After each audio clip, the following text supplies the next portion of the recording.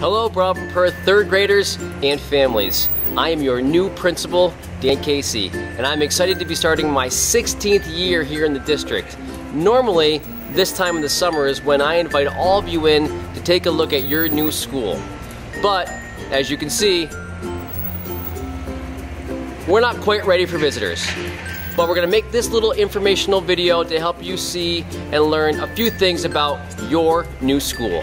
So let's start where students start their day, here at the front doors of the intermediate school. Visiting family members can reach our office simply by pressing this button. Mrs. Murata is here to help you with whatever you need.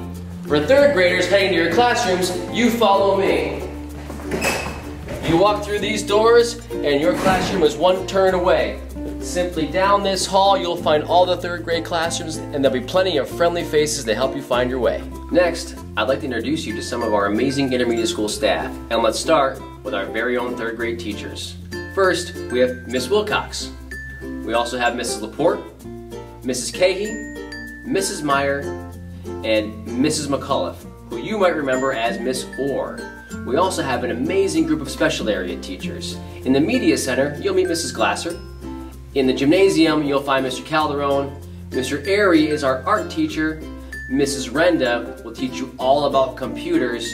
And I think you know our music teacher, Mrs. Rasevsky.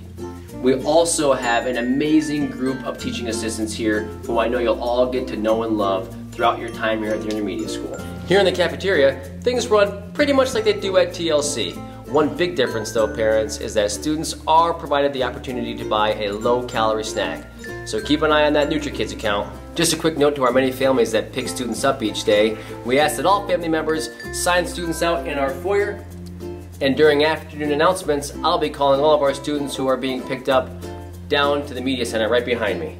I have just a few more pieces of information before we wrap up our video. Remember that breakfast is served every day at the intermediate school at 8.15. Keep an eye out for our student handbook, which will outline all of the intermediate school expectations. Be sure to read it, sign it, and return the front sheet.